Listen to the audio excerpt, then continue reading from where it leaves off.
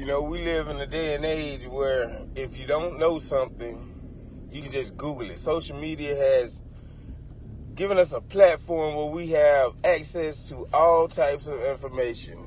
So if you don't know something, Google it. I uh I wanted to learn how to call turkeys. I see guys do it on the hunting channels and stuff like that, and it has always like amused me that they can do this stuff with their hands. So I googled how to call turkeys, how to do a turkey call with your hands, you know, with your mouth in your hands. And I was amazed at how easy it really is. So I'm gonna show you guys. Uh, I'm not great at it, but I do know how to call turkeys now. I don't need a turkey call. I don't need none of that. A gobbler, nothing. Uh, I learned this on YouTube. So, no more wasting time. Here we go.